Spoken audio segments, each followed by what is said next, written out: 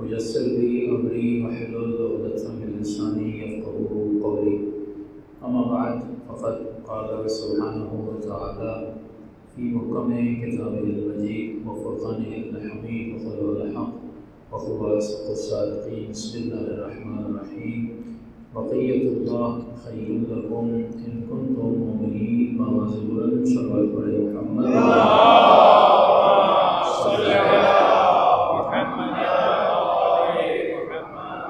دعا ہے پروردگار عالم ہم سب کی عبادتیں اپنی بارگاہ میں قبول فرما دے اور جس مقصد کی وجہ سے یہ مجالس رکھی گئیں ان مقاصد میں ہم سب کو کامیابی نصیب فرما دے دعاؤں کی قبولیت کے لیے بابا سے بلند بڑے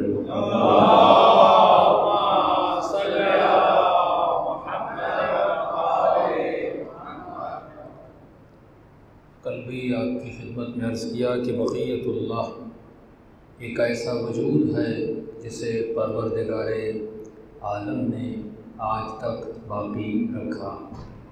یہ وجود تمہارے لیے باعث خیر ہے، باعث برکت ہے۔ شرط یہ ہے کہ ان کن تم مومنین اگر تم مومن بن جائے۔ پھر سوال ہوا، یہ وجود کس کا ہے جس کو خدا نے آج تک باقی رکھا؟ تو فرمائیے، وجود کسی اور کا نہیں، امام زمانہ کا وجود ہے جو آج تک باقی ہے اور جس کی وجہ سے ہماری زندگیوں میں خیر بھی آئے گا۔ برکت بھی آئے گی، اللہ کا والا ہے۔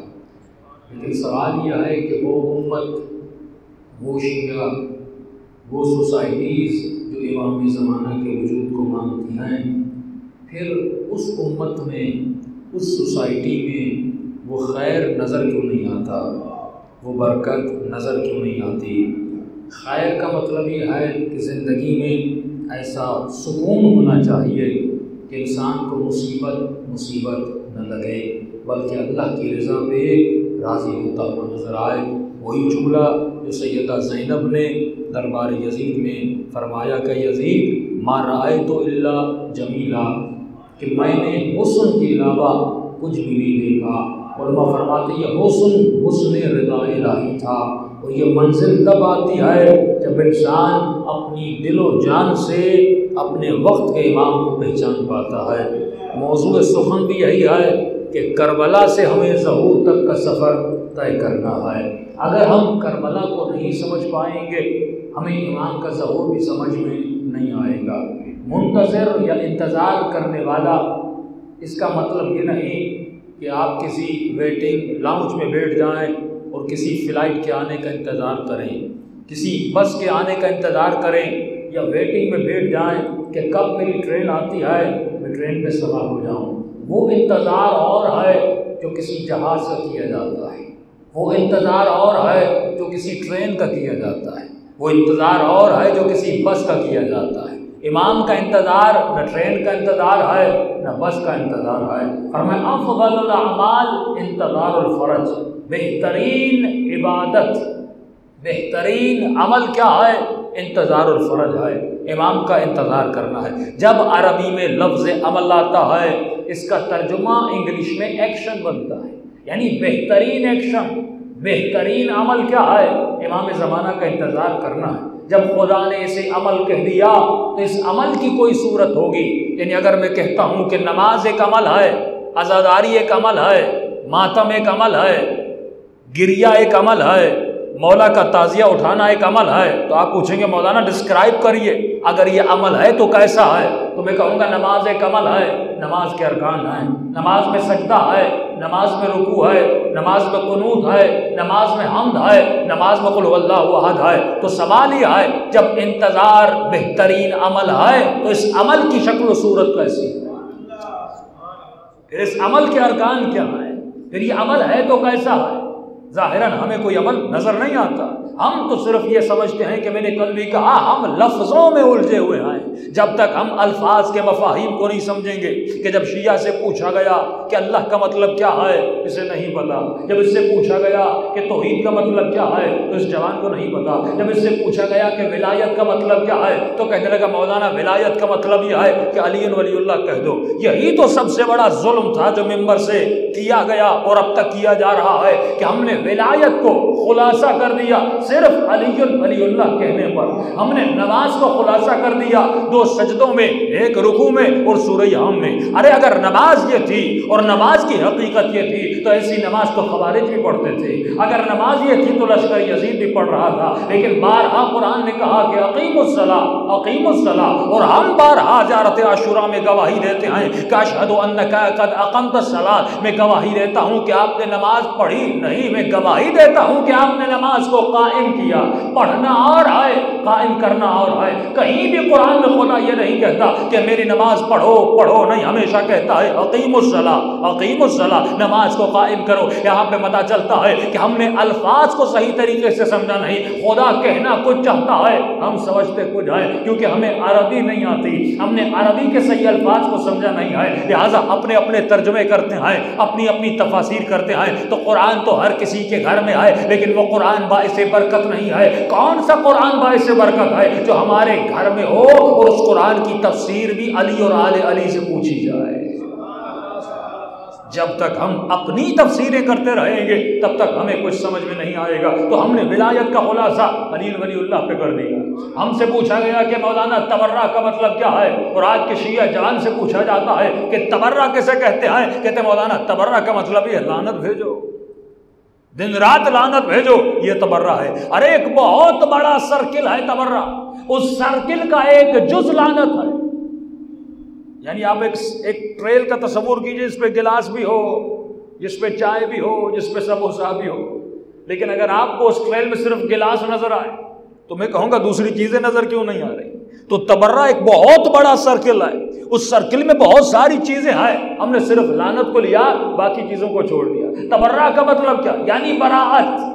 تبرہ کا مطلب کیا ہے؟ یعنی کسی چیز سے نفرت کرنا۔ کس چیز سے نفرت کرتا ہوں؟ کہ آج کے جوان سے پوچھا جاتا ہے اچھا یہ جو لانت تو بھیج رہا ہے، یہ بھیج کس پہ رہا ہے؟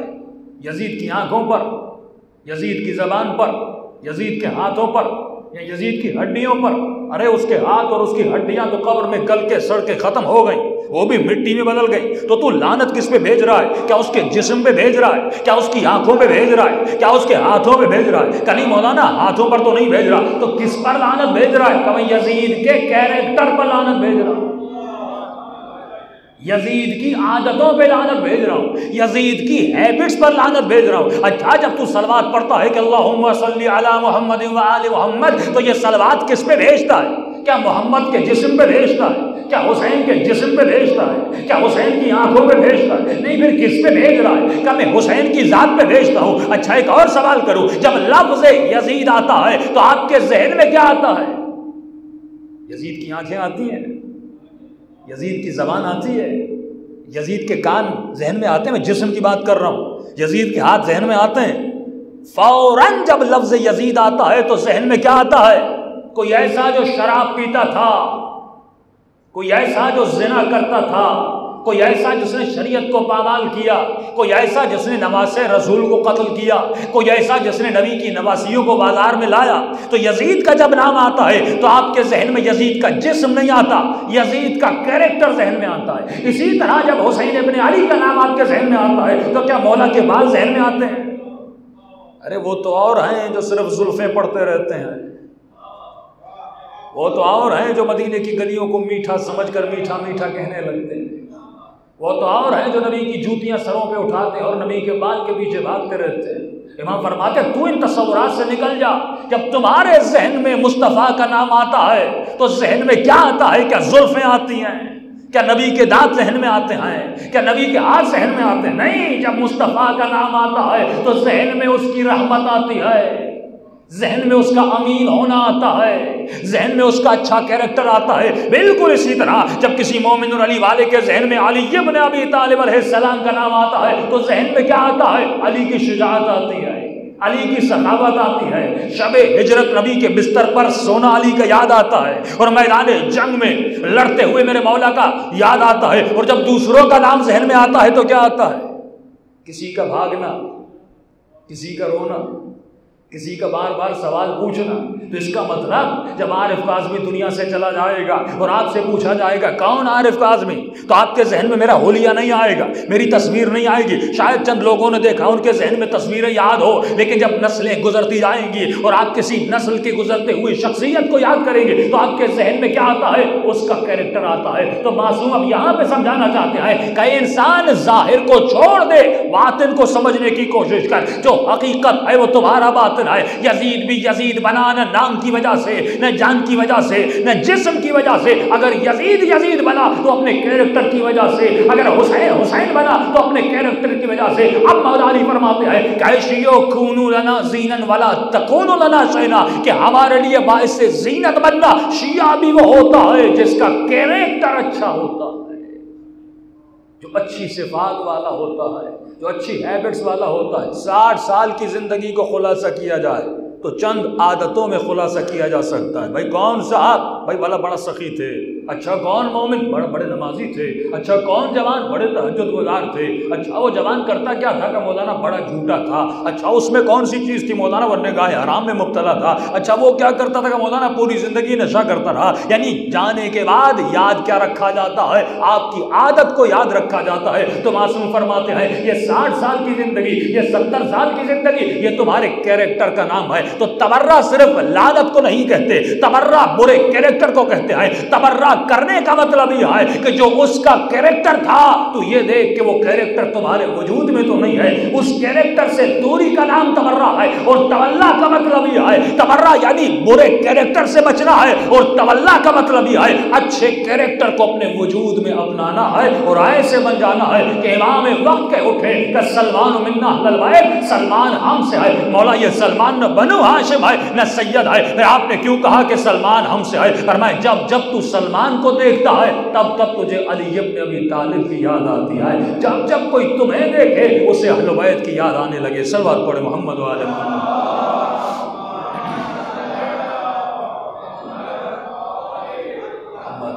جب نگاہ کو وسیع کریں گے تو کربلا سمجھ میں آئے گی۔ لیکن اگر ہم کربلا کو صرف ایموشنلائز کر دیں صرف گریے تک محدود کر دیں، صرف ماتم اور عزاداری تک کربلا کو محدود کر دیں، تو ہم نے بہت بڑے کربلا کے پہلو کو چھوڑ دیا۔ جس طرح لوگوں نے ولایت سے صرف علی ولی اللہ کو لیا یعنی لفظوں کو تو لیا، لیکن علی کے کریکٹر کو نہیں لیا۔ لفظوں کو تو لیا، لیکن علی کی زندگی کو نہیں لیا۔ دیکھیے، لفظ کسی کام کے نہیں ہے۔ جب تک وہ کریکٹر آپ کے وجود میں نہ آئے، لفظیں کرنے والے صوفیزم میں چلے جائیے، اس میں یہی ہے۔ وہ کسی خانقاہ میں بیٹھ جاتے ہیں اور تصویر اٹھا کے دن رات اللہ ہو اللہ ہو اللہ ہو کہتے رہتے ہیں۔ خالی ذکر کسی کام کا نہیں ہے، وہ ذکر کام کا ہے جس ذکر کے ساتھ انسان فکر بھی کرے۔ اسی لیے فرمایا کہ ایک گھنٹے کا سوچنا ستر سال کی عبادت سے افضل ہے، کیونکہ اسی فکر کی وجہ سے ہور ہور بنتا ہے۔ تو اب سوچئے، یزیدی کیا کرتے ہیں؟ شیطان کیا کرتا ہے؟ وہ آپ کو فکر سے روکتا ہے۔ اہل بیت کیا کرتے ہیں؟ وہ آپ کے وجود میں فکر کو بیدار کرتے ہیں۔ تو آپ کے سامنے دو سوچیں آتی ہیں۔ ایک سوچ وہ ہے جو آپ کی فکر کو بند کرتی ہے۔ دوسری سوچ وہ ہے جو آپ کے فکر کو کھولتی ہے۔ ایمان کا مطلب ہے وجود کو بیدار کرنا، ضمیر کو بیدار کرنا، سوئے ہوئے انسانوں کو بیدار کرنا۔ جب علامہ اقبال کہتے ہیں، اس قوم کو تو بیدار ہو لینے دو، ہر شخص پکارے گا، ہمارے حسین، یہ بیداری، جسم کی بیداری نہیں ہے۔ آپ تو روزانہ صبح کو بیدار ہوتے ہیں، اپنے آفس میں جاتے ہیں۔ یہ جسم تو بیدار ہے، لیکن اس کا ضمیر مردہ ہے، اس کا وجود مردہ ہے، اس کا وجود سویا ہوا ہے۔ تو فرمائے، امام کا کام یہ تھا کہ سوئے ہوئے جسموں میں انسانوں کو بیدار کرنا، ان کے ضمیر کو بیدار کرنا کہ فرماتے موتو قبل ان تموتو. اس سے پہلے کہ تمہیں مار دیا جائے، تو خود خود کو مار دے۔ مولا کس کو مارو اپنی غفلت کو مار دے، اپنی غفلت کو موت دے اور اپنے وجود میں بیدار ہو جا۔ لیکن یہ غفلت کب انسان کی مرتی ہے؟ جب انسان اپنی آنکھوں سے ملک الموت کو دیکھتا ہے، اس وقت ہر انسان بیدار ہو جاتا ہے۔ لیکن معصوم فرماتے ہیں، وہ بیداری کسی کام کی نہیں ہے۔ ارے، اس وقت تو فرعون نے بھی کہا تھا، جب ڈوبنے لگا تھا کہ ہاں من تو ہے خدا میں، تجھ پر بھی ایمان لے آیا اور رب موسیٰ موسا بھی ایمان لے آیا، لیکن خدا کہتا ہے، اب کی بیداری کسی کام کی نہیں ہے۔ بیداری وہ کام کی ہے جب اپنی زندگی میں انسان بیدار ہو جائے، اور جب زندگی میں بیدار ہو جاتا ہے تو وہ کربلائی کہلاتا ہے۔ آپ سے ایک سوال کرنا چاہتا ہوں۔ دیکھیے، کربلا میں بہتر شہید تھے، اور واقع کربلا کے بعد بھی تقریباً ٹوئنٹی ایٹ تھاؤزینڈ سے لے کر تھرٹی ٹو تھاؤزینڈ تک لوگ امام حسین پر قربان ہوئے، جس میں لشکر مختار بھی شامل ہے، جس میں طوابین بھی شامل ہے، جس میں جناب زید کا لشکر بھی شامل ہے، بہت سارے قیام شامل ہیں جنہوں نے حسین کے نام پر انتقام لیا اور شہید ہو گئے. یقیناً وہ بھی جنتی ہیں لیکن سوال یہ ہے، کہاں وہ اٹھائیس ہزار شہید اور کہاں کربلا کے بہتر شہید ان دونوں میں فرق کیا ہے؟ یہ بھی حسین پر شہید ہوئے، وہ بھی حسین پر شہید ہوئے. وہ اٹھائیس ہزار ہیں، یہ بہتر ہیں. لیکن آپ ان اٹھائیس ہزار کو ایک کربلا کے حر سے ملا سکتے ہو؟ ایک علی اکبر سے اس کا موازنہ کر سکتے ہو، ایک جناب جون سے موازنہ کر سکتے ہو، آپ ان کا موازنہ صرف ایک حبشی غلام سے کر سکتے ہو، جس کا نام جون ہے۔ کیا آپ اس سے وہاں پہ کلبی کا مقابلہ کر سکتے ہو؟ فرما نہیں، معصوم سے پوچھا گیا، مولا کیوں؟ وہ بھی تو شہید ہیں، یہ بھی تو شہید ہیں۔ وہ بھی حسین کے نام پہ شہید ہوئے، یہ بھی حسین کے نام پہ شہید ہوئے۔ فرمائے فرق ہے، فرق کون سا ہے؟ فرمائے جو کربلا میں شہید ہوئے، انہوں نے صحیح وقت پر صحیح فیصلہ کیا تھا۔ جسے ہم اہم اور مہم کہتے ہیں۔ مومن کی نشانی ہے، وہ اہم اور مہم کی تمیز کرنا جانتا ہے۔ یعنی اس طرح کہوں کہ امپورٹنٹ ان موسٹ امپورٹنٹ اس وقت میرے لیے بہت زیادہ ضروری کیا ہے اور ضروری کیا ہے۔ فرمائے ان لوگوں نے کربلا میں جانا ضروری نہیں سمجھا۔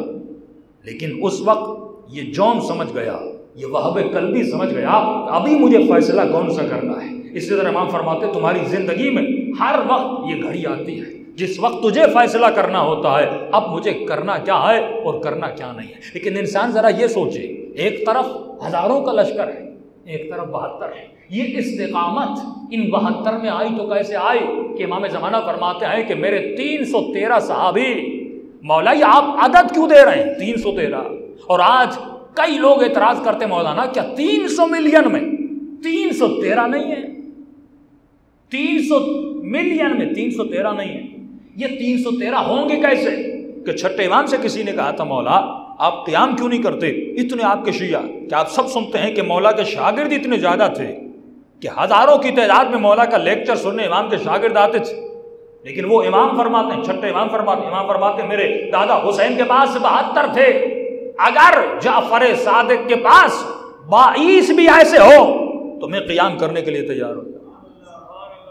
باعث کیسے ایسے مولا یہ ہیں کیسے ان میں صفات کیسی ہیں ان کا وجود کیسا ہوگا تو فرمایا یہ ایسے ہیں یعنی بائیس کے بائیس کا عقیدہ ایک ہے بائیس کے بائیس کا عمل ایک ہے بائیس کے بائیس کا اخلاق ایک جیسا ہے یعنی یہ اپنے صفات میں اپنے عمل میں اپنے اخلاق میں اور درد رکھنے میں ایک جیسے ہوں گے۔ لا وجود، لا ينفق ہے۔ ارے، یہ بات سمجھ میں تو آتی ہے کہ بیٹا باپ کی سنتا ہے، لیکن کربلا میں آپ کو عجیب منظر نظر آتا ہے۔ بتیجا بھی ویسی اطاعت کر رہا ہے، جیسے علی اکبر کر رہے ہیں۔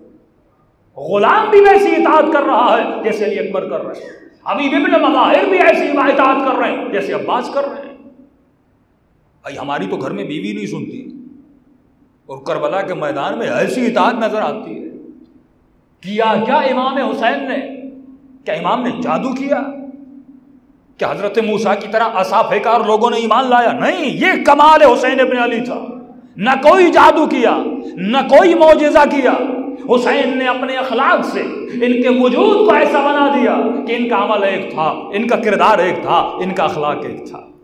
کربلا میں آپ دیکھیں گے کہ ہر کوئی موت کی تمنا رکھ رہا اور یہ سورہ یہ جمعہ کی آواز ہے، لیکن میں اپنی بحث سے ٹاپک سے نکل جاؤں گا۔ فرمائیے، مومن کی نشانی فَتَمَنَّوَ الْمَوْتَ إِن كُنْتُمْ صَادِقِينَ۔ اگر تو دیکھنا چاہتا ہے کہ تمہارے دل میں ایمان ہے کہ نہیں ہے، تو اے مومن، پھر موت کی تمنا کر کے دیکھنا۔ لیکن آج کا مومن بیمار ہوتا ہے کہتا ہے، مولانا، دعا کریے، ٹھیک ہو جاؤ۔ اتنا پریشان ہو جاتا ہے۔ ڈاکٹر کو التماس کرتا ہے۔ ڈاکٹر صاحب، مجھے بچا لیجیے۔ میں مرنا نہیں چاہتا۔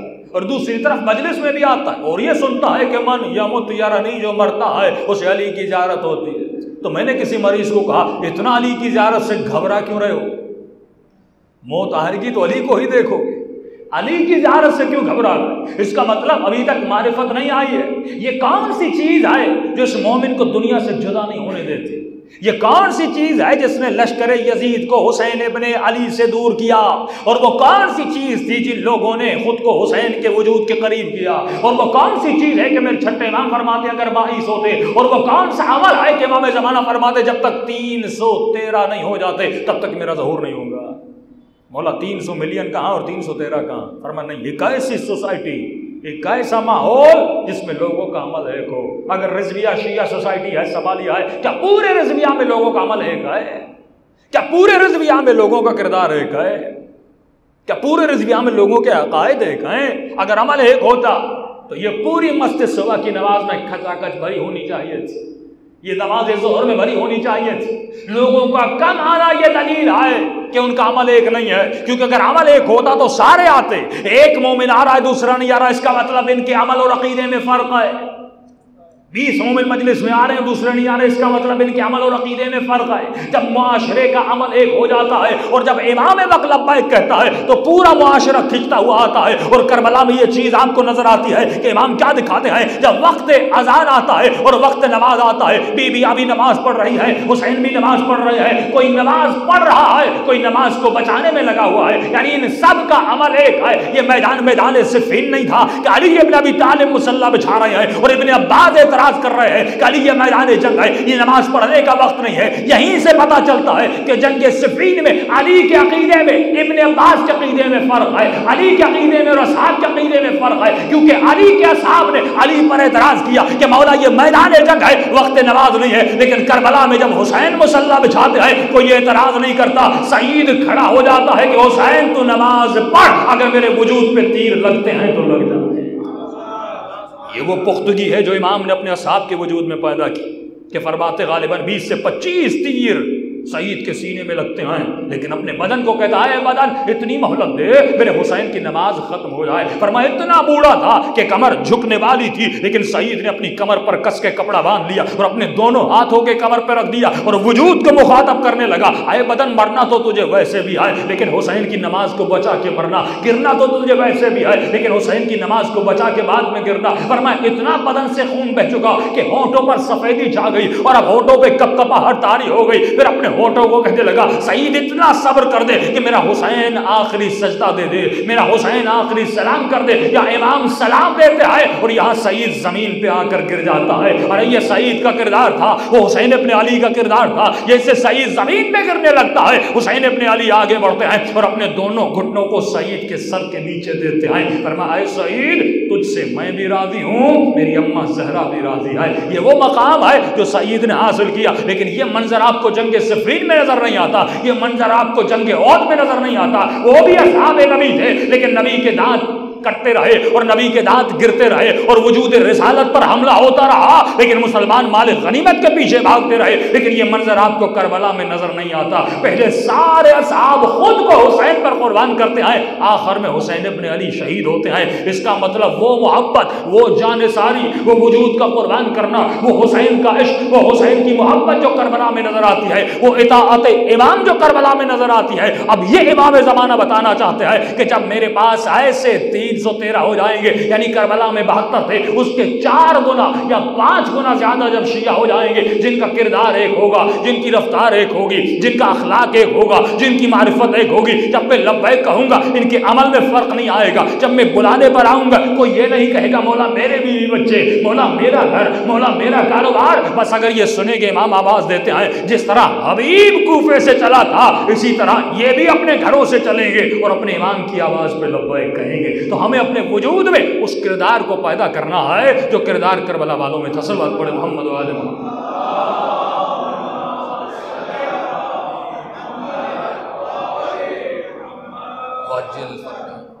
اچھا دوسری طرف کیا تھا؟ فتمن الموت ان کن تم صادقین تمنا کرو موت کی۔ یہ لفظ فتمن تمنا۔ یہ بہت بڑا عجیب لفظ ہے۔ اسی تمنا پہ انسان کی زندگی گزر جاتی ہے۔ اسی تمنا پہ کوئی جہنمی بنتا ہے، کوئی جنتی بنتا ہے۔ اب کس چیز کی تمنا کرو؟ خدا کہتا ہے موت کی تمنا کرو۔ اور یزیدیوں نے کس چیز کی تمنا کی تھی؟ حکومت رائے کی تمنا، مال دنیا کی تمنا، اپنے بچوں کو بچانے کی تمنا۔ لیکن کربلا میں کس چیز کی تمنا ہے؟ سوائے موت کے کسی چیز کی تمنا نہیں۔ کیونکہ حسین ابن علی کے لیے موت موت نہیں، لقاء خدا کا نام ہے۔ اللہ سے ملاقات کا نام ہے۔ موت یعنی رب کا دیدار، موت یعنی علی کا دیدار، موت یعنی اہل بیت کا دیدار۔ کیونکہ مرنے کے بعد ملائکوں کو دیکھتے ہو، مرنے کے بعد پردے ہٹتے ہیں اور یہ عالم مجردات سے جو تمہاری روح آئی تھی، پلٹ کر عالم مجردات کی طرف واپس چلی جاتی ہے۔ یعنی موت موت نہیں ہے، بلکہ ابدی زندگی کا نام ہے۔ یہ بھی تمنا ہے کہ امام فرماتے ہیں، مومن کی نشانی ہے، وہ موت کی تمنا کرتا ہے۔ دوسری طرف ایک اور تمنا ہے، جسے تمنا شیطانی کہتے ہیں۔ معصوم فرماتے ہیں بچ شیطان کے وسوسوں سے اور اس کا ایک وسوسہ یہ ہے، یہ تمہارے وجود میں تمنا کو بنا دیتا ہے۔ مولا کیسی تمنا بناتا ہے؟ فرما زین لکم، یہ تمہارے لیے تمنا کو زینت دیتا ہے۔ اتنا خوبصورت بنا دیتا ہے، تو اس کے پیچھے چلتا ہوا جاتا ہے۔ دنیا روکنے پر آتی ہے، تو رکنے کا نام نہیں لیتا۔ باپ روکنے پر آتا ہے، تو رکنے کا نام نہیں لیتا۔ ماں سمجھانے کو آتی ہے، تو سمجھتا نہیں ہے، کیونکہ وہ اسے ایسی تمنا دیتا ہے۔ اس تمنا کو ایسا حسن بخشتا ہے، اس کو ایسی زینت دیتا ہے تو اس کے پانے کے لیے کچھ بھی کرنے کے لیے تیار ہوتا ہے۔ آج معاشرے کی مثال دوں گا۔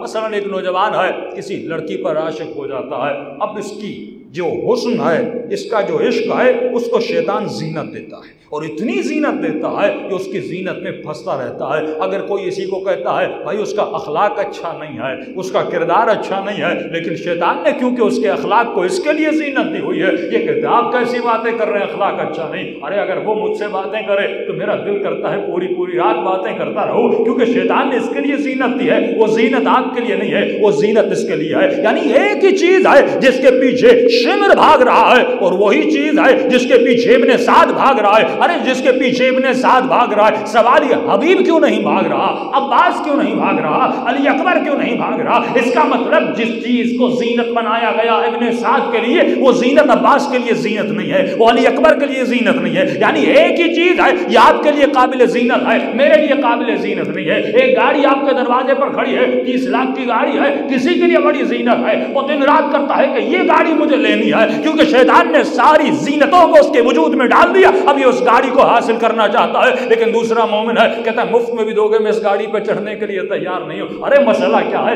ایک ہی چیز ہے، ایک کے لیے زینت ہے، دوسرا اس سے بھاگ رہا ہے۔ ایک دنیا کے پیچھے بھاگ رہا ہے، لیکن علی فرماتے، میں نے اسی دنیا کو تین طلاقیں دے دی کہ دوبارہ نکاح ہی اس دنیا سے نہ ہو سکے۔ یہ مولا ماجرا کیا ہے؟ فرما یہی وہ عقل ہے، یہی وہ فہم ہے، یہی وہ بصیرت ہے، جو اہل جس کو ادا کرتے ہیں، وہ انسان اس چیز کو سمجھ سکتا ہے۔ یعنی شیطان نے جس چیز کو تمہارے لیے باعث زینت بنایا، تو اس چیز کے پیچھے چلتا ہے۔ اب سوال یہ مولا، میں اس کی زینت سے بچوں تو کیسے بچوں؟ اصل نوجوان کو یہ نہیں کہنا کہ نماز پڑھو، وہ پڑھے گا نہیں تو آپ کیا کریں گے؟ سوال یہ ہے کہ مولانا، کیسے پڑھوں؟ یہاں سے طیل عرض کے قصے پڑھ دینا بڑا آسان ہے۔ حسین کی زیارت نہیں ہو رہی ہے کہہ دینا بڑا آسان ہے۔ امام زمانہ کے سپاہی نہیں بنے، یہ کہنا بڑا بنے تو کیسے بنے؟ یہ اصل سوال ہے۔ مجھے وہ روحانی لذت اور وہ میڈیٹیشن حاصل کرنی ہے تو میں کیسے حاصل کروں؟ میں آیت اللہ بہجت کی طرح نماز میں گریا چاہتا ہوں تو کیسے رہوں وہ کیفیت میرے لیے پیدا کیوں نہیں؟ وہ وجود جو کربلا والوں کو ملا، وہ سوچ جو کربلا والوں کو ملی۔ اگر وہ سوچ میں اپنے وجود میں پیدا کرنا چاہتا ہوں، تو کیسے پیدا کروں؟ اصل سوال یہ ہے کہ اگر مجھے نماز تو معراج المومن کہ نماز مومن کا معراج ہے، مولانا مجھے معراج نہیں ہوتا۔ یہ معراج کیسے کیا جاتا ہے؟ اس حقیقت الہی پر کیسے پہنچا جاتا ہے؟ اصل سوال یہ ہے، جس شے کو شیطان نے میرے لیے زینت بنایا، کسی جوان کے لیے نامحرم کو زینت بنایا کسی جوان کے لیے رات کو بیٹھ گیا، کسی فلم کے، کسی سین کو زین بنا دیا، کسی جوان کے لیے گیم کو زین بنا دیا، کسی کے لیے گاڑی کو زین بنا دیا، کسی مومن کے لیے رشوت کو زینت بنا دیا، کسی کے لیے حسن کو زینت بنا دیا، کسی کے لیے شہرت اور ریاست کو زینت بنا دیا۔ اس زینت میں ہر کوئی مبتلا ہے، ممبر پر آنے والا مبتلا ہے۔ نوہیں پڑھنے والا مبتلا ہے، کوئی شہرت کی زینت میں مبتلا ہے، کوئی بڑی بڑی گاڑیوں کے چڑھنے پر مبتلا ہے، کوئی مال کمانے کے پیچھے مبتلا ہے یعنی شیطان ہر کسی کے وجود میں کسی نہ کسی شے کو زین لکم، یہ تمہارے لیے زینت بنا دیتا ہے اور اسی زینت کو پانے کے لیے اپنی زندگی کو تباہ کر دیتا ہے۔ دیکھیے، کسی کے لیے یورپ زینت ہے کسی کے لیے انگلینڈ زینت ہے کسی کے لیے آسٹریلیا زینت ہے اور اسی زینت کے پیچھے کتنے لوگوں کی جانے جاتی ہیں، کتنے لوگ یہاں سے وایا ایران اور ترکی ہو کر اور کنٹینرز میں چڑھ کے یورپ کی محبت میں نکل جاتے جاتے ہیں اور ان کے ساتھ کیا کیا سلوک ہوتا ہے، نیٹ پہ سب کچھ موجود ہے۔ کئی لوگوں کی جانیں چلی جاتی ہیں۔ یعنی جس چیز کو اس نے زینت بنایا، اپنی زندگی کو اس زینت پر داو لگا دیتا ہے۔ کتنے ایسے نوجوان اور ایسی لڑکیاں تھیں جنہوں نے مجازی عشق میں آ کر اپنی جان کو قربان کر دیا،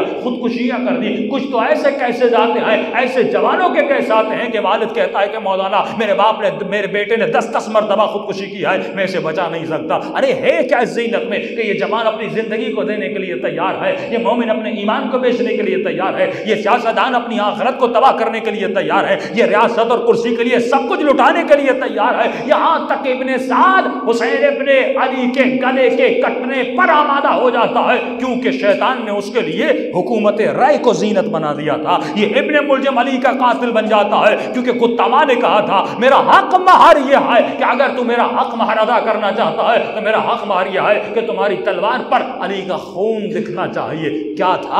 شیطان نے کیا کیا تھا کہ یہ اس خاتون کے عشق میں مبتلا ہوا، وہ رشوت میں مبتلا ہوا، وہ سکوں اور درہم میں مبتلا ہوا۔ ارے، کیا ہوا تھا جناب زبیر کو کہ علی کے پپھی کا بیٹا ہے؟ اور وہ زبیر جس کے لیے سیدہ فرماتی ہیں، علی، اگر تیرے پاس وقت نہیں ہے، میں اپنے کزن کو کہوں، میں اپنے پپھی کے بیٹے کو کہوں کہ میرے لیے تابوت بنائے، جس کے لیے سیدہ وصیتیں کر رہی ہیں، وہی زبیر جنگ جمل میں علی کے مقابلے میں کھڑا ہو جاتا ہے۔ یہ قرآن قصوں کی کتاب نہیں ہے، کبھی خدا قوم عاد کا ذکر کرتا ہے، کبھی قوم سمود کا ذکر کرتا ہے، کبھی خدا بنی اسرائیل کی بھینس کا ذکر کرتا ہے، کبھی ان کے بچڑوں کا ذکر کرتا ہے، کبھی خدا عذاب فرعون کو بتاتا ہے، کبھی عذاب نمرود کو بتاتا ہے، کبھی قارون کے زمین میں دس جانے کا ذکر کرتا ہے۔ ارے قرآن قصوں کی کتاب نہیں ہے، خدا بتانا چاہتا ہے، مومن دیکھنا کہ جن لوگوں نے شیطان کی زینتوں کو اپنا مقصد بنایا، ان قوموں کا حال کیا ہوا؟ وہ تباہ و برباد ہو گئے اگر تو بھی اپنی زندگی میں شیطان کی زینت کے پیچھے بھاگے گا، جس شے کو شیطان نے زینت بنایا، تمہاری دنیا بھی تباہ ہو جائے گی۔ گی اور آخرت بھی تباہ ہو جائے گی۔ لیکن سوال یہ ہے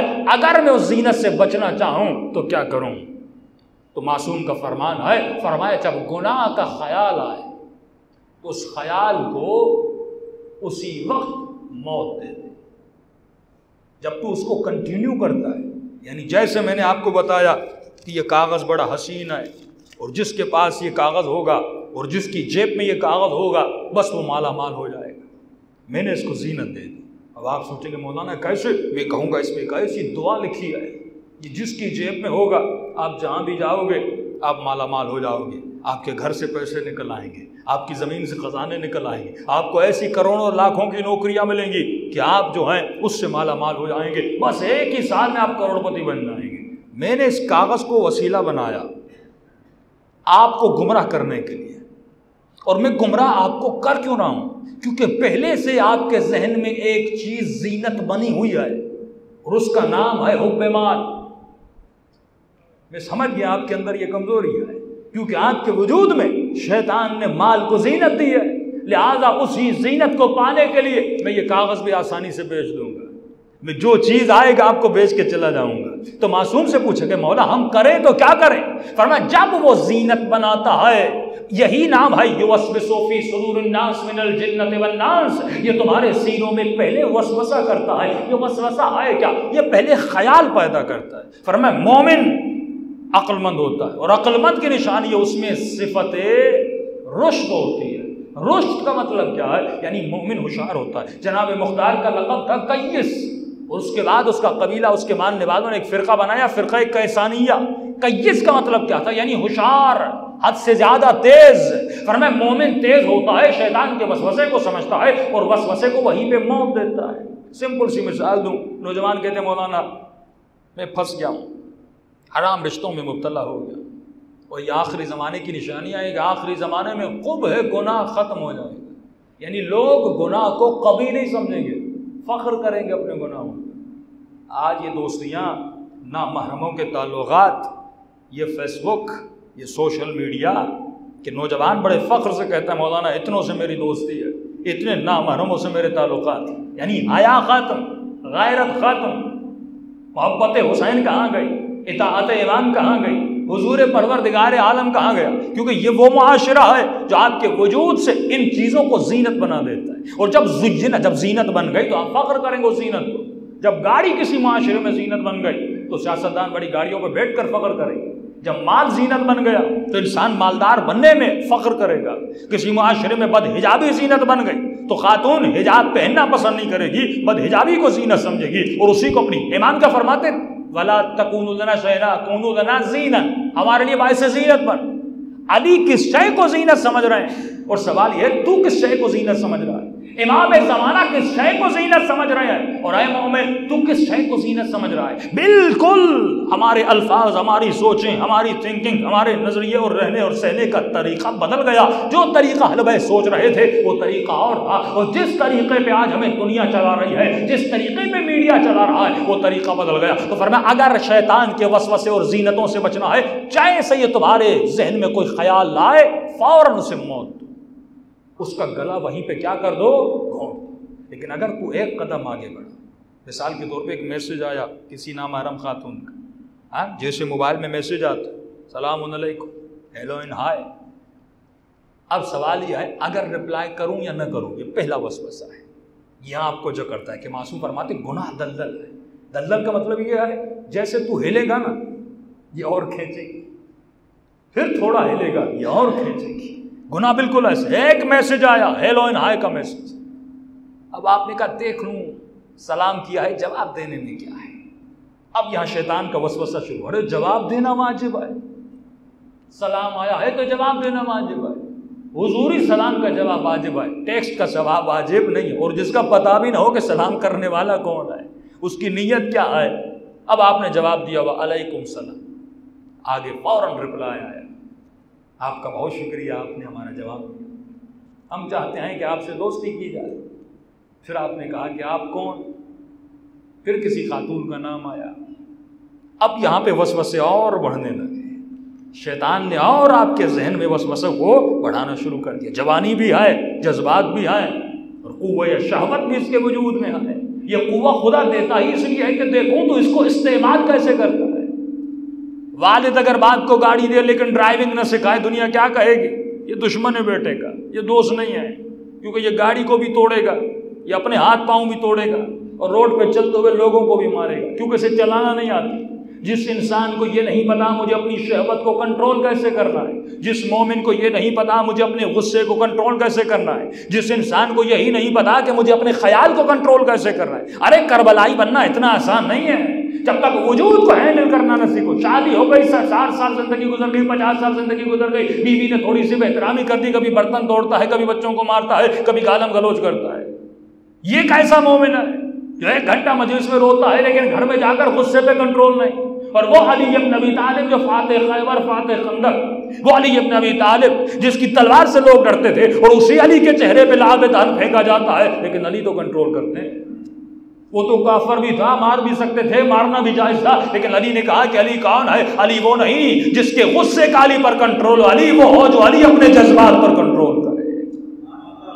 مومن بھی یہ ہوتا ہے جو اپنے جذبات پر کنٹرول کرے۔ ولایت علی کا مطلب یہ ہے کہ تمہارے وجود پر، تمہاری آنکھوں پر، تمہارے ہاتھوں پر، تمہارے وجود کے ذرے ذرے پر علی کی ولایت ہو۔ یہ نہیں کہ صرف زبان سے علی ولی اللہ کا اور یہ بھی تم نے کتنی دیر علی ولی اللہ کا پانچ منٹ۔ دس منٹ۔ بازار میں علی کو بھول گئے، گھر میں علی کو بھول گئے، بیوی سے بات کرتے ہوئے علی سے بھول گئے۔ کہیں پہ رشوت لینی تھی، اس وقت جھوٹ بولا، اس وقت تمہیں علی بھول گئے۔ یہ ولایت نہیں ہے۔ ولایت اہل بیت کا مطلب یہ چوبیس گھنٹہ اہل بیت کی ولایت میں رہو۔ ولایت خدا کا مطلب یہ ہے کہ مومن چوبیس گھنٹہ اللہ کی ولایت میں رہے۔ حضور خدا کا مطلب یہ ہے کہ چوبیس گھنٹہ خود کو اس کے حضور میں محسوس کرو۔ امام فرماتے ہاں مانا تو بہت ساروں نے خدا لیکن زبان سے مانا ہے۔ یہ جملہ امام حسین کا کہ کربلا بدینے سے چلتے کربلا کی طرف کہ فرمایا، دین لوگوں کی زبان کی چٹخاری کا نام ہے۔ یہ مزہ لیتے ہیں۔ الہ الہ الا اللہ کہہ کے مزہ لیتے ہیں۔ یہ دو وقت کی نماز پڑھ کے مزہ لیتے ہیں۔ لیکن اس نے نماز میں سیکھا کہ ارے وہ نماز جس میں اللہ اکبر کہنے کے بعد کھانا حرام ہے، پینا حرام ہے رائٹ اینڈ لیفٹ گردن کو موڑنا حرام ہے۔ مولا کھانا حلال تھا، پانی حلال ہے، روٹی حلال ہے، کلام کرنا حلال ہے۔ لیکن آپ نے نماز میں دو منٹ کے لیے اس کو حرام کیوں کیا؟ اللہ بتانا چاہتا ہے کہ مومن، دو منٹ کے لیے ایسے کھڑا ہو جا جیسے میں کہوں۔ دو منٹ کے لیے آنکھوں کو سجدگاہ پہ رکھ۔ دو منٹ کے لیے ہاتھوں کو جھکا کے رکھ۔ دو منٹ کے لیے سیدھا کھڑا ہو جا۔ جب میں کہوں رکو میں جا، جب میں کہوں سجدے میں جا، جب میں کہوں ہاتھوں کو بلند کر، زبان سے وہ کلمات ادا کرنا جو مجھے پسند ہے۔ اپنی مرضی سے کلام نہ کرنا۔ اگر اپنی مرضی سے میرا نام بھی لیتے ہو تو نماز منہ پہ مار دوں گا۔ جو حمد میں نے کہی وہ ہم پڑھنا۔ جس ترتیب سے میں نے کہا اس ترتیب سے پڑھنا۔ اس کا مطلب اطاعت الہی کا مطلب یہ ہے کہ بندہ زندگی ایسے گزارے جیسے پروردگار عالم نے کہا۔ تمنا کا مطلب یہ ہے کہ تمنا وہ کر جو تمہارے پروردگار عالم نے کہا۔ تو فرما شیطان کو اسی وقت موت دے، اس کی وسوسے کو موت دے۔ اب یہاں وسوسہ آتا ہے۔ اب انسان سوچتے کروں تو کیا کروں؟ اب کہتا ہے، مجھے آپ کو جواب نہیں دینا۔ آپ نام حرم ہیں، آپ سے رشتہ رکھنا حرام ہے۔ بڑی سی اس امام کی حدیث سے بھیج کے رپلائی کر دیا۔ آگے سے جواب آتا ہے، آپ نے میرا دل توڑ دیا۔ آپ میں ذرہ برابر احساس نہیں ہے، آپ میں ایموشنز نہیں ہے۔ تھوڑی سی بات کرنے میں کیا ہوتا ہے؟ اب شیطان کے تحریک تو کتنا ظالم ہے، تو اتنا سندل ہے۔ دو جملے بات کرنے میں کیا ہو جاتا ہے؟ ہاں۔ آگے پھر مشورے شرعی بھی دیتا ہے، آگے جا کے رشتہ حلال کر دیا جائے گا۔ پھر یہ نوجوان جب اپنے وسوسے کو وہاں موت نہیں دیتا، اب شیطان اس کے ایمان کو موت دیتا ہے۔ اب اس کی ولایت کو موت دیتا ہے۔ اب اس کی توحید کو موت دیتا ہے۔ یہاں تک کہ وجود گناہ میں آلودہ ہو جاتا ہے۔ لیکن کیا ہوتا؟ اگر پہلے ہی یہ اس گناہ کا رپلائی نہ دیتا۔ کیا ہوتا پہلے ہی وسوسے کو وہیں پہ موت دے دیتا؟ کیا ہوتا پہلے ہی چیز میں؟ دیکھیے وہ کرتا کیا ہے؟ مثال کے طور پہ مومن کہتا ہے، مولانا، یہ فلم تو دیکھوں گا، لیکن بیچ کا گانا میں نہیں دیکھتا۔ بڑا کمال ہے کہ مولانا، جیسے گانا شروع ہوتا ہے نا، میں بالکل فاسٹ ٹریک پہ رکھ دیتا ہوں۔ آواز کو میوٹ کر دیتا ہوں، آگے چلا جاتا ہوں۔ اس کا مطلب مولانا، میں دریا میں تو جاؤں گا، لیکن میں پیرا شوٹ والا کپڑا پہن کے جاؤں گا، میرا بدن گیلا نہیں ہوگا۔ یہ بالکل ایسے آئے۔ میں مٹی میں تو گروں گا، لیکن مولانا مٹی میرے کپڑوں کو نہیں لگے گی۔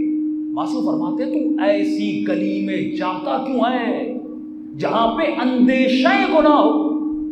تو ایسی چیز کو دیکھتا کیوں ہے جس میں one percent only one percent گمراہی کا اندیشہ ہو۔ یہ عقلمند کی نشانی نہیں ہے۔ مومن اور عقلمند کی نشانی یہ احتمال ضرر دیتا ہے یعنی ضرر کا احتمال دیتا ہے کہ ہو سکتا ہے مجھے نقصان ہو۔ اگر آپ کو کہا جائے، مثال دے رہا ہوں ون پرسنٹ آپ کو بتا رہا ہوں ون پرسنٹ یہی فرق ہے کہ ہم ایمان کو اتنی اہمیت نہیں دیتے، لیکن اپنی مٹیریل اس دنیا کو کتنی اہمیت آپ کو بتایا جائے آپ فلاں صاحب، آپ نے جو پچاس ہزار کا ٹکٹ لیا ہے اور آپ جہاز پہ جا رہے ہیں دبئی، ٹی وی پر اعلان ہوا ہے کہ ٹو پرسنٹ ہو سکتا ہے کہ یہ جہاز گر جائے۔ چڑھیں گے کبھی؟ کہیں گے پچاس ہزار گئے مٹی میں۔ لیکن میں ٹو پرسنٹ کا بھی رسک نہیں لوں۔ گا اب سنیے امام کا فرمان۔ فرمان دو طرح کے لوگ ہیں۔ ایک وہ جن کی عقلیں عقل معاش والی ہیں۔ ایک وہ جن کی عقلیں عقل معاد والی ہیں۔ یہ نہیں کہ یزید کے پاس عقل نہیں تھی، یہ نہیں کہ شمر کے پاس۔ فرما یزید کے پاس عقل تھی، پر عقل معاش تھی۔ یعنی اس عقل سے صرف معاش کو کمانا جانتا تھا۔ یعنی ان کا یہ تھا کہ دنیا بچے مال کیسے بنائیں بزنس کیسے کریں، یہ انشاءاللہ اس قرآن کی آیت پہ کل آؤں گا کہ ذرا وہ تجارت ون، آئے میرے حبیب، جب یہ تجارت کو دیکھتے ہیں اور بزنس کو دیکھتے ہیں، تو کھڑا ہوا ہے، لیکن یہ تجھے چھوڑ کے چلے جاتے ہیں۔ وہ ترکو کا قائم ہے جبکہ تو قائم ہے۔ قائم کا مطلب قائم آل محمد، امام زمانہ کا لقب ہے۔ وہ آل محمد کا فرزن جو قائم و کھڑا ہوا ہے۔ اور آج کا مومن جب بزنس و تجارت کو دیکھتا ہے، تو اپنے امام کو چھوڑ کے چلا کیوں؟ کیونکہ اس کی عقل عقل معاش ہے اور فرمائے نظام کفر، یہ مغرب کی حکومتیں، امریکہ کی حکومت، وہ نظام بڑی خوبصورتی سے کھڑا ہے۔ ان کی سویلائزیشن بڑی خوبصورتی سے کھڑی ہے، لیکن کس چیز پہ کھڑی ہے؟ معاش پر۔ آپ یوٹیوب پہ لکھیے، ہمیشہ یہ how to become billionaire millionaire مجھے بلینر کیسے بننا ہے؟ مجھے ملینر کیسے بننا ہے؟ وہاں پر اگر لوگ اخلاق مند ہیں، اس کی وجہ بھی معاش ہے۔ یعنی اگر کوئی سگنل کو مومن کراچی میں تو توڑے گا، لیکن یو کے میں اور آسٹریلیا میں نہیں توڑے گا۔ میں نے کہا، کیوں نہیں توڑتے؟ کا مولانا، فائن لگتا ہے، ففٹی ڈالر دینے پڑتے ہیں۔ اس کا مطلب اس میں ادب نہیں ہے، اس کے دل میں ففٹی ڈالر کی محبت ہے۔ یہ ففٹی ڈالر کی وجہ سے سگنل نہیں توڑتا۔ اچھا یہ کیوں نہیں کرتے؟ کچرا کیوں نہیں پھینکتے؟ فلاں کیوں نہیں کرتے؟ کہ مولانا، فائن لگتا ہے۔ ہمیں اتنا جرمانہ لگتا ہے، ہم اس لیے نہیں کرتے۔ کیونکہ وہ معاشرہ معاش پہ کھڑا وہاں پہ لوگوں کو با ادب بنایا معاش کی وجہ سے۔ یعنی یہ کرو گے تو پیسے ملیں گے اور یہ کرو گے تو پیسے لے لیے جائیں گے۔ تو وہ اس پیسے کی محبت میں ان کی رسی پیسہ ہے، ان کی رسی مال ہے۔ اس معاشرے میں نظم بھی ہے، ضبط بھی ہے، اخلاق بھی ہے، آپ کو سب کچھ ملے گا اور آپ جائیں گے، آپ کہیں گے مولانا وہاں صفائی بھی ہے، امن بھی ہے، جسٹس بھی ہے، سب کچھ ہے۔ کیونکہ اس کی رسی معاش ہے۔ انہوں نے معاش کی رسی پہ کھڑا۔ لیکن نظام الہی کس پہ چلتا ہے؟ معاد پر۔ خدا کہتا ہے کہ صفائی کر، صفائی نصف ایمان ہے۔ کوئی نہیں کرتا کراچی میں۔ جہاں کچرا آیا، پھینک دیا۔ اپنے گھر میں بھی اپنی گلی پر۔ کیوں؟ کیونکہ اس کا معاد کمزور ہے۔ لیکن اگر اسے کہا جائے کہ جو کچرا نہیں پھینکے گا، اس کو منتھلی بیس ہزار روپے دیے جائیں گے۔ پورا کراچی صاف ہو جائے گا۔ کیونکہ معاش والی عقل ہے۔ یہ پیسے کو زیادہ امپورٹنس دیتا ہے۔ اور اسی کراچی میں کہا جائے، جو کچرا پھینکے گا، اور پورے کراچی میں کیمرہ لگے ہوئے بھائی۔ جو کچرا پھینکے گا، ایک مرتبہ پھینکا، اس سے دو ہزار فائن کیا جائے گا۔ کوئی نہیں پھینکے گا۔ کیونکہ اقول اقول معاش ہے، یہ معاش پہ جی رہا ہے۔ یہ پیسے کو اتنی ہمیں ایمان کو نہیں دیتا۔ رسول فرماتے نصف الایمان ہے صفائی۔ صفائی نہیں کرتا۔ ہفتہ ہو جاتا ہے، مومن نہاتا نہیں ہے۔ دس دن ہو جاتا ہے، برش نہیں دیتا۔ آٹھ دن ہو جاتے ہیں، ناخن نہیں کاٹتا۔ بھائی، کیسا مومن ہے یہ؟ نصف ایمان، آدھا ایمان تمہاری بدن کی صفائی پہ کھڑا ہے۔ امام حسین فرماتے میری زیارت کو آؤ تو غسل زیارت کرو۔ جمعے کا غسل کرو۔ غسل نشاد کرو۔ غسل جنابت کرو۔ غسل استغفار کرو، غسل توبہ کرو، غسل استغارہ کرو۔ ہزار قسم کے غسل بتا دیے۔ اتنی تمہارے مکتب میں صفائی کی اہمیت تھی۔ لیکن ایمان کو کون امپورٹنٹ دیتا ایمان کیا ہے مولانا؟ ایمان ہوتا کیا ہے؟ اللہ کی نصف ایمان ہے۔ کہا ایک سبحان اللہ کے تو اللہ جنت میں سو درخت بناتا ہے کسی کو ٹائم۔ لیکن یہاں کہا جائے کہ کسی کی چاپلوسی کر دو تو نوکری مل جائے گی۔ کتنی زبان کو چرب کر کے اس کے پیچھے اس کی چاپلوسی کر بہت فاصلہ ہے۔ کربلا میں اور ہم میں بہت فاصلہ ہے۔ پڑھنے والا بھی اس مجلس میں جاتا ہے جہاں پہ معاش ہو۔ سننے والے ان کی اس مجلس میں رش ہوتی ہے جہاں پہ چاول کا دانہ ہو۔ ہاں، جہاں چاول کا دانہ، وہاں آدمی کا آنا کل یہاں اعلان کیا جائے زردابی ہوگا اور یہاں پہ بوفے لگایا جائے گا۔ تھرٹی ایٹمز لگائے جائیں گے پورے رضویہ میں۔ دیکھیے رش کتنا ہوتا ہے۔ اقول اقول معاش ہیں۔ پڑھنے والا معاش والی عقل رکھتا ہے۔ وہ مجلس پڑھتا ہے۔ ذاکر موہ خان، کیونکہ اقول معاش والی ہے پیسہ لگژری لائف اسٹائل۔ آج جو کلچر سیاست دانوں کا ہے، جو وی آئی پی کلچر گنہگاروں کا ہے، راشیوں اور زانیوں کا ہے، جو پروٹوکول وہ لے کر آتے ہیں، آج وہی کلچر آپ کو مذہبی لوگوں کا نظر آتا ہے۔ ان کے پیچھے گارڈز، بڑی بڑی گاڑیاں، یہ وی آئی پی کلچر ہے۔ یہ لوگوں کو امپریس کرنے کے لیے۔ کیونکہ اقول زین لکم، شیطان نے اس چیز کو زینت بنایا، بڑی گاڑی کو زینت بنایا، مال کو زینت بنایا مٹیریل اس لائف کو زینت بنایا، پیسے کو زینت بنایا۔ اب یہ بھی سمجھتا ہے کہ لوگوں کے لیے یہ زینت ہے کہ اسی چیز کو فالو کرتا ہے۔ وہ خطیب ہو، وہ نوح خان ہو، وہ جو بھی ہو، اس چیز کو زینت کہتے ہیں۔ کہتے مولانا، لوگ عزت نہیں کرتے جب تک بڑی گاڑی نہ ہو۔ اس کا مطلب تو نے بھی اسی چیز کو زینت دی جس کو شیطان نے زینت دی۔ تو نے حسین والی چیزوں کو زینت نہیں دی۔ تم نے حسین کے کلچر کو کتنا بڑھایا؟ ہم بھی شیطان کے کلچر کو بڑھا رہے ہیں۔ وہی کلچر جو شیطانی کلچر ہے۔ وہی کلچر، وہی لائف اسٹائل وہی لگژری لائف اسٹائل وہی سیلفشنس کا تصور، وہی مٹیریل لائف کا تصور۔ تم اپنے جوان کو کیا سکھا رہے ہو؟ کہ یہ مٹیریلس بن جائے۔ تم اس جوان کو کیا سوچ دے رہے ہو؟ کہ مالدار بن جائے، بڑی گاڑی پر بیٹھے، آگے پیچھے پولیس والے ہوں۔ یہ کلچر سکھانا چاہ رہے یہ کلچر تو مغرب میں بھی نہیں ہے۔ یہ کلچر تو اس دنیا میں بھی نظر نہیں آتا۔ وہاں کے وزیر بھی ایسے نہیں چلتے جیسے یہاں کے لوگ چلتے ہیں۔ یہ وہ تقوا تھی جو علی ابن ابی طالب سکھانا چاہتے تھے کہ ایک امام کا سفیر، ایک امام کی حکومت میں حکومت کرنے والا مصر میں جب کسی امیر کی دعوت پہ جاتا ہے تو مولا علی خط لکھتے ہیں کہ مجھے پتا چلا ہے تو آج کل امیروں کے گھر میں کھانا کھانے جاتا ہے۔ کیا غریبوں کے گھر میں کھانا نہیں ملتا؟ کیا ان کے سفرے پر کھانا نہیں آئے؟ کہ امیروں کے سپنوں پر دس دس تام دیکھ کر ان کی رنگینیوں میں تو جکڑ گیا۔ اور تو کیسا ہے کہ علی ابن ابی طالب کا ماننے والا ہے؟ کہا، خبردار، آج کے بعد کسی امیر کے گھر میں کھانا کھائے، کیونکہ تو والی ہے، تو حکومت کرنے والا ہے۔ غریب کے دلوں میں یہ احساس پیدا ہوگا، یہ امیروں کو زیادہ رسپیکٹ دے رہا ہے۔ اور کس کی وجہ سے دے رہا ہے؟ تقوا کی وجہ سے نہیں، مال کی وجہ سے۔ ان اکرمکم ان اللہ اتقاکم اگر مال کامیابی ہوتی، اگر دولت کامیابی ہوتی، اگر ریاست کامیابی ہوتی، تو خدا کہتا قرآن میں کہ فرعون کامیاب ہے، خدا کہتا کہ قارون کامیاب ہے، لیکن خدا نے اگر کسی کو عزت دی اور با کمال سمجھا، تو ابراہیم کو با کمال سمجھا۔ خدا نے اسماعیل کو با کمال سمجھا یا کو با کمال سمجھا۔ یہی وہ کلچر تھا جس کو لوگوں نے کھو دیا۔ ایک کلچر حسین کا، ایک کلچر یزید کا۔ ایک سولائزیشن حسین ابن علی کی، ایک سولائزیشن یزید کی۔ یہ تہذیب الاسلام کتاب پڑھیے اسلامک سولائزیشن کا نام ہے۔ تم نے کتنا اسلامی سولائزیشن کو فالو کیا؟ تم نے کتنا اسلامی کلچر کو فالو کیا؟ یہ کلچر جو صرف مجلس میں ہم نے بنایا، یہ بھی اچھا اس کو ایام اللہ کہتے ہیں اور شاعر حسین یہ شاعر اللہ کہتے ہیں، یہ بھی کرنا عبادت ہے۔ لیکن سوال یہ ہے، جب میں تمہارے گھر میں آتا ہوں، تو مجھے تمہارے گھر میں داخل ہوتے ہوئے کون سی سولائزیشن کون سی تہذیب یاد آتی؟ ہے اس گھر میں داخل ہوتے ہوئے مجھے مغرب کا کلچر یاد آتا ہے، مجھے مغرب کی چیزیں یاد آتی ہیں یا مجھے اللہ یاد آتا ہے؟ مجھے حسین ابن علی یاد آتا ہے۔ جب جناب نو یہ فریاد کر کے کہتے پروردگارہ، ساڑھے نو سو سال تبلیغ کرنے کے بعد، اے خدا، آپ مار دے میری قوم کو، اس کو عذاب میں مبتلا کر دے۔ کہ نو، اتنی سخت بد دعا نہ دے۔ کہ خدا، ایسا عذاب نازل کر کے ایک بچہ بھی اس قوم میں اب پیدا نہ ہو۔ کہ نو کیوں؟ کہ ماحول اتنا بگڑ گیا، خدا، اب میرا بچہ میری نہیں سنتا۔ اور میری بیوی میری نہیں سنتی کیونکہ ماحول بگڑ گیا۔ اس معاشرے کے اسلوب بگڑ گئے۔ اس معاشرے کی تربیت بگڑ گئی۔ جب زمین خراب ہو جائے، کندم کا دانہ بہترین ڈالو، لیکن وہ فصل گندی اگتی ہے۔ کہ خدا، یہ زمین بگڑ گئے بالکل تباہ کر دے لم یولت اب ان میں کوئی پیدا نہیں ہوگا جب مومن ہو۔ لیکن دوسری طرف امام زمانہ فرماتے، جب میرا ظہور ہوگا، امام زمانہ میرا ظہور ہوگا، معصوم کی روایت میں ہے، جب امام زمانہ کا ظہور ہوگا، فرمائے، حکومت مہدی میں کوئی زانی پیدا نہیں۔ کوئی شرابی پیدا نہیں ہوگا، کوئی جھوٹا امام کیا کریں گے؟ کون سی جادو کی چھڑی چلائیں گے؟ کہ کوئی زانی پیدا نہیں ہوگا، کوئی جھوٹا پیدا نہیں ہوگا، کوئی مبغض پیدا نہیں ہوگا، کوئی حسد کرنے والی پیدا نہیں ہوگی، کوئی قیمت کرنے والی بدہجاب پیدا نہیں ہوگی۔ مولا، آپ کریں گے کیا؟ فرما ایسی سوسائٹی بناؤں گا۔ افراد سسٹم سے بڑے نہیں ہوتے، سسٹم بڑا ہوتا۔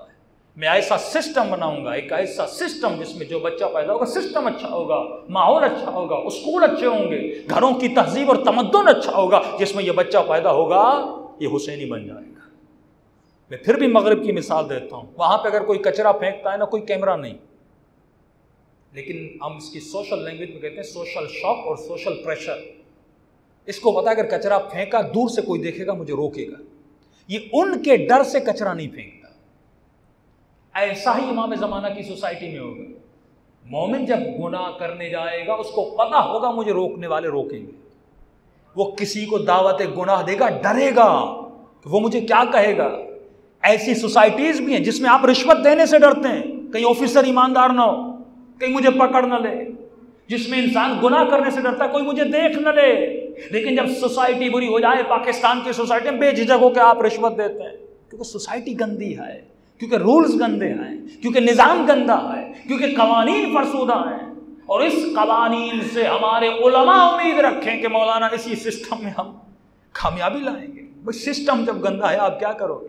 جب تک اس کے قوانین نہیں بدلتے، جب تک جسٹس سسٹم نہیں بدلتا، جب تک پورے نظام کو تبدیل نہیں کیا جاتا، تب تک پاکستان نہیں سدھرے گا۔ کتنی پارٹیاں بناؤ، کتنی سیاسی جماعتیں بناؤ ہم بھی یہاں اور آپ بھی یہاں دیکھتے ہیں، آپ کر کیا پاتے کچھ بھی نہیں کر پاؤ یہ بالکل ایسے ہے کہ ایک راستہ جہنم کی طرف جا رہا ہے اور میں ڈرائیور متقی آدمی بٹھا دوں۔ مولانا، یہ نمازی ہے اور بڑا متقی پرہیزگار ہے، اس کو گاڑی پہ بٹھا دیں۔ ہاں بھائی، بٹھا دو۔ راستہ کہاں جا رہا ہے؟ جہنم کی طرف۔ بہترین ڈرائیور بھی بٹھاؤ گے جب راستہ گندگی کی طرف جا رہا ہے۔ تو یہ بالآخر جہنم میں لے جائے گا۔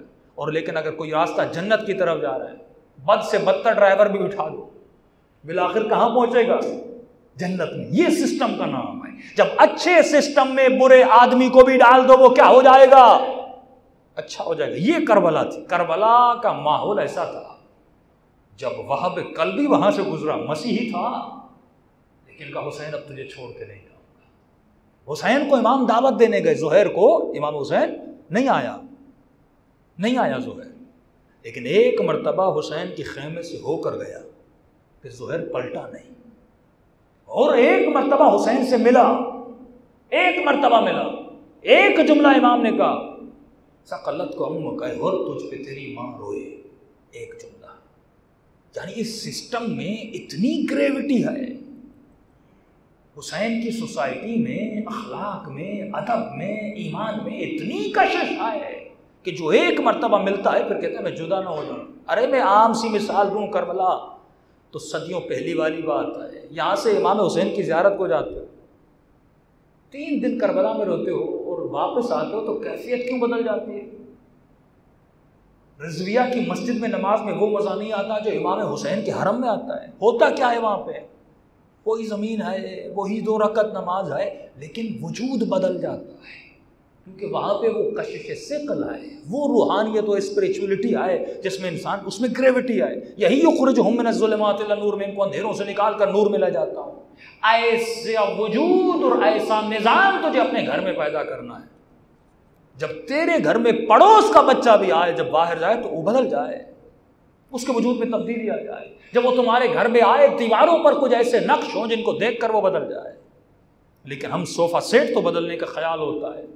بار بار ٹی وی بدلنے کا خیال ہوتا ہے۔ آج نئی واشنگ مشین آئی اور آج موبائل کا نیا ماڈل آیا۔ یہ خیال یہ تمنا شیطان تو پیدا کر رہا ہے۔ لیکن یہ نہیں سوچا اس گھر میں بچے کو بڑا کرنا ہے، کیسے کرنا ہے؟ اس گھر کا ماحول میں کیسا بناؤں کہ جب میرا بچہ چھ سے سات سات سے چودہ چودہ سے انیس سال تک جب بڑا ہو، اس گھر کا ماحول، یہ مہد ایسا ہونا چاہیے کہ یہ بچہ علی اکبر جیسا بن جائے۔ وہی ماحول جو مدینے میں حسین نے پیدا کیا۔ یہ امام فرماتے کہ ہمارے مومن کے وجود میں اتنی کشش ہوتی ہے۔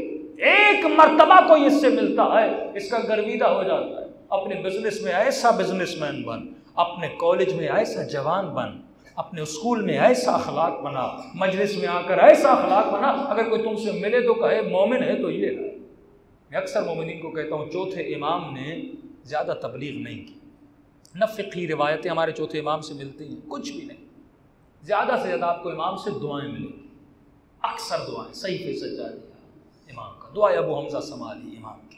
تو امام نے کیا کیا اس معاشرے میں؟ فرمایا، وہ جور، فسق و فجور، گناہ کا معاشرہ۔ اس گناہ کے معاشرے میں کسی ایک نمازی کا ہونا بہت بڑی بات ہے۔ یعنی اگر پورے رضویہ میں کوئی نماز پڑھنے نہ آئے، مسجد میں نہ آئے، لیکن ایک محلے کا جوان ایسا ہو جو روز مسجد میں جائے، تو لوگ اس کو کس چیز سے جانیں گے؟ کہ بھائی، یہ بڑا نمازی ہے۔ یہ سب سے بڑی تبلیغ ہے۔ یعنی جس معاشرے میں نماز پڑھی نہیں جاتی، اس معاشرے میں ایک جوان صرف نماز پڑھے، یہ اس کے عمل کی تبلیغ ہے۔ جس معاشرے میں رشوت لی جاتی ہے اور رشوت کے بغیر گزارا نہیں ہوتا، اس معاشرے میں یہ سرکاری جاب کرنے والا جوان اگر رشوت نہ لے، یہ کیریکٹر یہ زندہ کیریکٹر ہے، یہ زندہ علی کا فرمان ہے، یہ زندہ ولایت علی، یہ عقیم الصلاط ہے یعنی نماز اس کے اندر جی رہی ہے، یہ جہاں جا رہا ہے یہ اللہ کی نماز بن کے گھوم رہا ہے۔ اللہ کے حکم کو اللہ کی زمین پر قائم کر رہا ہے اور اللہ کا وعدہ ہے کہ ہم نے زبور میں بھی لکھا کہ زمین کے وارث عباد الصالحین کو بنائیں گے۔ بالآخر اس زمین کا ورثہ اہل بیت کو ملے گا اور ایک ایسی حکومت کو قائم کریں گے جس حکومت کے لیے ہر کوئی ترسے گا۔ سر بات پڑے محمد۔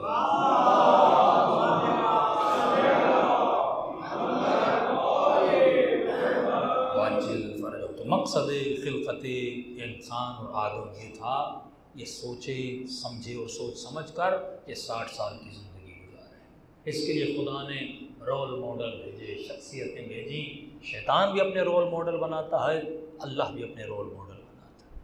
شیطان اسپائڈر مین کو بیٹ مین کو آئرن مین کو تیرا رول ماڈل بناتا ہے، لیکن خدا کربلا کو رول ماڈل بناتا ہے۔ وہ خیالی شخصیتیں بناتا ہے۔ جن کا حقیقت سے کوئی تعلق نہیں، خدا حقیقت کی شخصیتیں بناتا ہے۔ انشاءاللہ اس کی تفصیل میں کل جائیں گے۔ علماء فرماتے ہیں، ایمان کی نشانی یہ ہے کہ مومن دیکھنا چاہتا ہے کہ میرے دل میں ابھی تک حسین کی محبت ہے کہ نہیں ہے۔ فرمایا وہ یہ چیک کرے کہ جب حسین کا نام آتا ہے، مجھے گریا آتا ہے کہ نہیں۔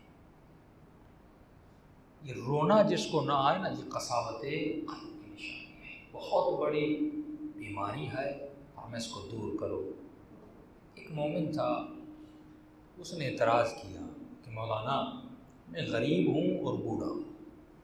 بیمار ہوں چل نہیں سکتا۔ لہٰذا اپنی بیماری بڑھاپے اور تنگ دستی کی وجہ سے میں کربلا نہیں آ سکتا۔ آپ نے تو مجلسوں میں پڑھا کہ حسین کریم ہے۔ مولانا کریم کا مطلب کیا ہے؟ میں نے کہا، کریم یعنی جو بندے کو کسی نعمت سے محروم نہیں کرتا یعنی اتنی بھی رکاوٹ نہیں ڈالتا کہ بندہ نعمت سے دور رہے۔ وہ راہیں فراہم کرتا ہے کہ یہ نعمت حاصل کرے۔ یعنی اللہ کسی کو نہیں روکے گا مجلس میں، نہ۔ راہیں فراہم کرے گا آپ کے لیے سفرہ بچھائے گا، جو سفرے میں روحانی غذا ہو، اب آنا تمہارا کام ہے۔ تو میں نے کہا، یہ کریم ہے۔ وہ ذہن میں بھی ڈالتا ہے، وہ توفیق بھی دیتا ہے۔ اس نے کہا، مولانا، کیا حسین کی زیارت نعمت نہیں ہے؟ میں نے کہا، بہت بڑی نعمت کا پھر بیماری کی وجہ سے، تنگ دستی کی وجہ سے میں کربلا جا نہیں پایا اور میں مر جاؤں تو نام اعمال میں ایک زیارت امام حسین کی بیماری کی وجہ سے نہ لکھی ہو۔ ایک زیارت امام حسین کی غربت کی وجہ سے نہ لکھی ہو۔ یہ تو پھر امام حسین قریب تو نہ ہوئے۔ تو کسی عالم نے خواب دیکھا، آقا حسین کا۔ اور یہی سوال ہوا کہ مولا تنگ دستی کی وجہ سے، فقر کی وجہ سے ہم آپ کی زیارت کو آ نہیں سکتے اور آپ تو کریم ہیں۔ اور ہم ایسے ہی مر جائیں اور نام اعمال میں لکھا ہو کہ اس نے کی زیارت نہیں کی۔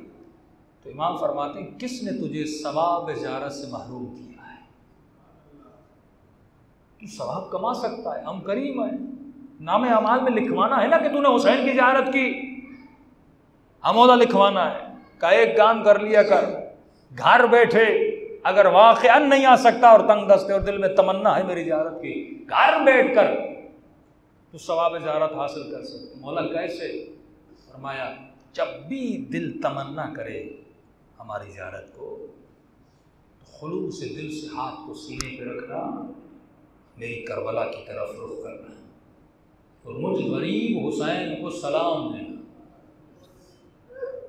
کمولا ثواب زیارت مل جائے گا۔ امام فرماتے نہیں، ایک نشانی ہے۔ اگر وہ تیرے وجود میں آ گئی تو ثواب زیارت مل جائے گی۔ مولا کو کون سی نشانی ہے؟ پر میں اگر تو نے سلام کیا اور سلام کرنے کے بعد نہ چاہتے ہوئے تمہاری آنکھوں سے آنسو نکل آئے۔ یہ وہ کیفیت ہے جب پہلی مرتبہ کربلا گئے تھے اور حسین کی زری کو دیکھا تھا۔ مومنین سمجھ سکتے ہیں یہ کیسی کیفیت ہے؟ کہ آدمی رونا نہیں چاہتا، اس کے بس میں نہیں ہوتا، دل ایسا ٹوٹتا ہے اور کوٹ کوٹ کے خود رونا شروع کر دیتا ہے کہ ضبط نہیں ہوتا۔ پر اگر ایک مرتبہ مومن چاہ کر روتا ہے، ایک مرتبہ ایسی کیفیت تاری ہوتی ہے، خود نہیں روتا، دل رو رہا ہوتا ہے۔ پر میں اگر سلام کیا اور یہ کیفیت تاری ہو گئی، اے مومن، یہ یاد رکھنا یہ تیرے آنسو نہیں ہے یہ حسین کے سلام کا جواب ہے۔ جب ایسا جواب میں کسی کو دیتا ہوں اب اگر اس رات تو مر بھی گیا نام اعمال میں لکھا جائے گا یہ حسین کی زیارت کر کے دنیا سے چلا اتنی فضیلت ہے آقا حسین کو سلام کرنے کی۔ اور یہ راتیں سلام کرنے کی۔ دن گزرتے جا رہے ہیں آٹھ ربی الاول تک۔ اللہ جانے کس کو محرم نصیب ہو۔ اور کس کو نہ ہو۔ اسی لیے معصوم کا فرمان ہے، جب بھی حسین کی مجلس میں آؤ، یہ تصور کر کے بیٹھو، یہ تمہارے زندگی کی آخری مجلس ہے۔ آئیے آج دلوں کو کربلا لے جائیں اور اپنے آقا حسین کو ایسے سلام کریں جیسے ننی سی سکینہ نے سلام کیا۔ السلام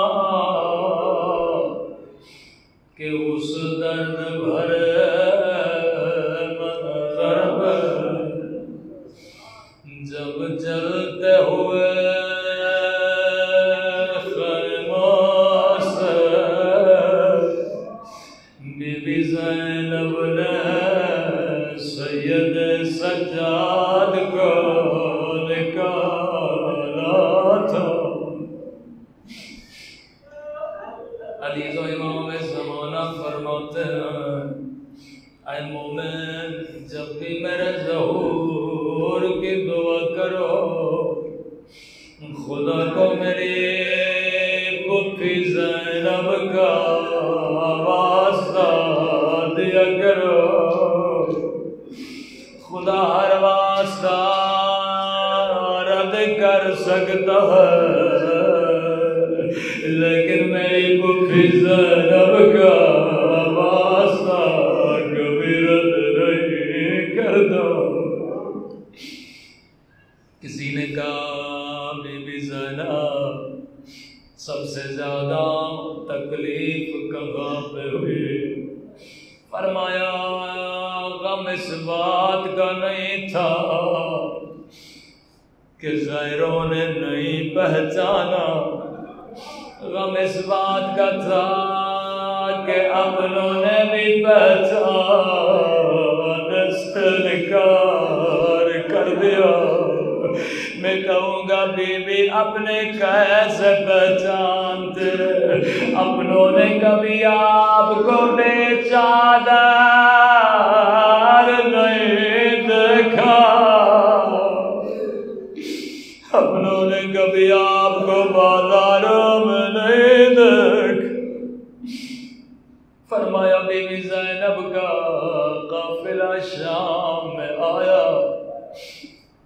جناب سکینہ بی بی زینب کی گودی میں ہے۔ امام حسین فرماتے میرے شیو جب بھی ٹھنڈا پانی پیو، میری سکینہ کو یاد کیا کرو۔ میرے علی اصغار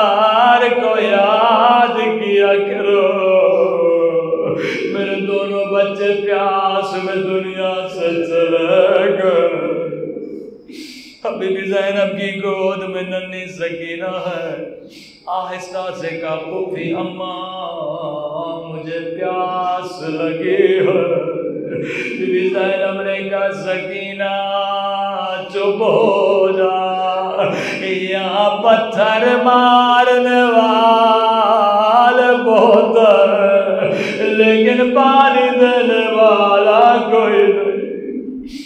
فرمایا چھت پہ ایک مومنہ بیٹھی تھی آواز کو سن لیا دوڑتی ہوئی گلاس میں پانی بھرا ہوا کر بی بی زینب کو دیا کہنے لگی اے قائدی بی بی تیری بچی پیاسی نہ رہے گی میں تیری بچی کو پانی پلاؤں گی یہاں بی بی زینب نے پانی سکینہ کو دیا۔ یہاں سکینہ پانی پینا چاہتی ہے۔ کہتی ہے قیدی بی بی جب تیری بچی پانی پی لے، میرے لیے کچھ دعائیں کر لینا۔ بی بی زینب نے کہا، سکینہ پانی بعد میں پینا۔ پہلے اس کے لیے دعا کرو۔ ہم سیدہ ہیں، کسی کا احسان نہیں اٹھاتے۔ راوی کہتا ہے ابھی تک مومنان سکینہ کو دیکھا نہیں تھا۔ اب سکینہ نے دعا کے لیے ہاتھوں کو بلند کیا۔ جیسے اپنا چہرہ بلند کیا۔ مومنہ کی نگاہ زخمی کانوں پہ پڑ گئے۔ زخمی رخساروں پہ پڑ گئے۔ یہ اپنی ساری دعائیں بھول گئے۔ کہتی ہے قیدی دعا کرو اللہ میری بچی کو کبھی تیری طرح یتیم نہ بولو سکینہ نے دعا کے لیے ہاتھوں کو بلا دیا۔ رو کر کہنے لگی ہے خدا، تجھے میری یتیمی کی قسم۔ اور کسی بچی کو میری طرح یتیم بنانا کہا مومنہ بتا تیری دوسری دعا کون سی یہ دوسری دعا ایسی تھی، سارا قافلہ رونے لگا، کہتی ہے قائدی بی بی دعا کرو اللہ مجھے مدینہ بھیجے جیسے غربت میں کا نام سننا تھا زینب نے کہا مدینے جا کر کیا کرو گے؟ کہتی ہے، قیدی بی بی مدینے میں میرے رسول کا روزہ ہے۔ اور تیرا مدینے میں کون ہے؟ ایک مرتبہ کہتی ہے، قیدی بی بی مدینے میں میرا حسین ہے۔ مدینے میں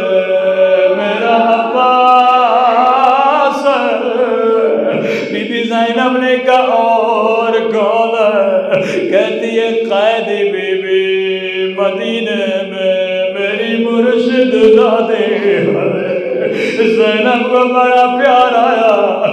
کہا، اے مومنہ، یہ تو بتا تو نے حسین کا نام لیا تو نے عباس کا نام لیا، لیکن تو نے اپنی مرشد دادی کا نام نہیں لیا۔ کیا مدینے والی بی بی سے ناراض ہو؟ سننا تھا کہتی ہے قیدی بی بی میری مجال میں اپنی بیوی سے ناراض ہوں۔ کا پھر مدینے والی کا نام کیوں نہیں لیتی؟ اس نے ایسا جملہ کہا، سجاد کا جگر ہل گیا۔ کہتی ہے قیدی بیوی، میری مجبوری سمجھو۔ او میں نام کیسے لوں؟ یہ بازار کا ماحول نام حرم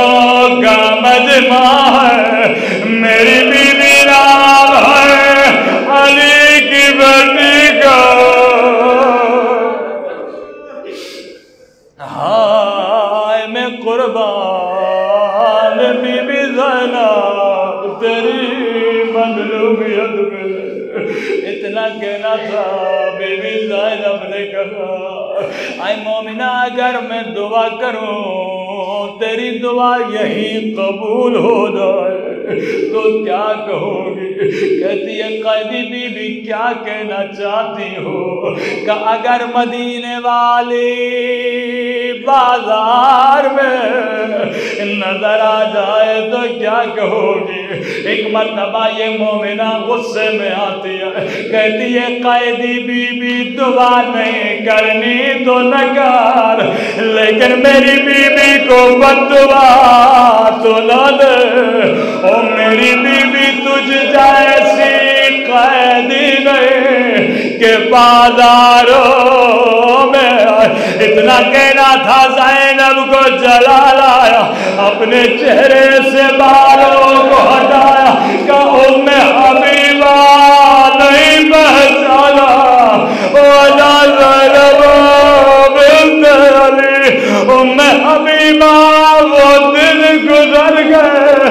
ارے، میرا پاس مارا گیا۔ اور میرا حسین